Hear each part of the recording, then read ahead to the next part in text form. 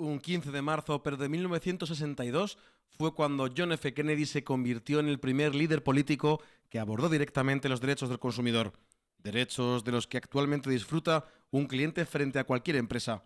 Son derecho a que se derecho a información, derecho a que se le resuelvan, que tenga una posibilidad de resolución de sus problemas a través de organismos administrativos, derecho a la formación, la regulación de la relación cliente-empresa permite al primero ser escuchado y defender su postura ante el segundo, generalmente más poderoso.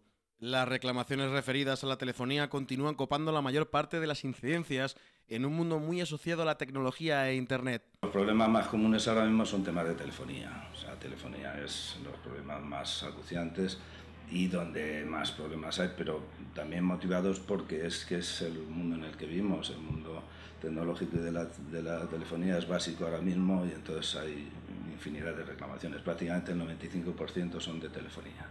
Ser escuchado, compensado, obtener educación para el consumo, tener un ambiente sano, poder elegir y satisfacer sus necesidades básicas.